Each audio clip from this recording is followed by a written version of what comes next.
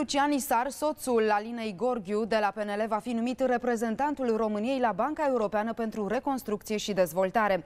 Surse politice susțin că numirea a fost deja aprobată de guvernul Ludovic, Ludovic Orban și după ce va fi semnată de premier, urmează să fie publicată în monitorul oficial.